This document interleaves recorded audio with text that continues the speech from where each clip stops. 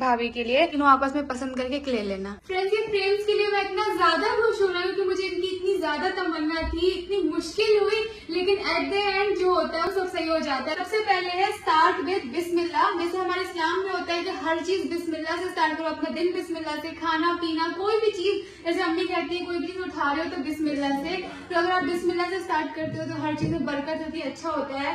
ये है and with अलहमदुल्ला इंग्लिश में भी लिखा है ये अरबिक में भी लिखा है एंड विद अलहमदुल्ला मतलब कोई भी चीज़ है स्पेशली आपका दिन मैंने इस इस हॉल में इसलिए इसको लगाया है कि आपका दिन कैसा भी गुजरा है आपको हर हाल में अल्लाह का शुक्र अदा करना चाहिए। इसलिए अलहमदुल्ला हर एक दिन अच्छे नहीं गुजरते हैं लेकिन हम अच्छे दिनों में तो बहुत ज़्यादा अल्लाह का थैंक यू कहते हैं।